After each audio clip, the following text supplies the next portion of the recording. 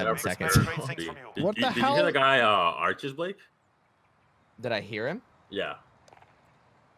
Because I was gonna call it out, but I thought you knew.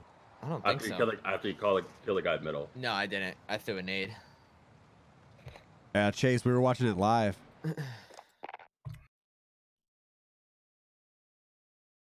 That's dope, Blaine. That sounds, good stuff, that sounds boys. fresh. Yeah, good job.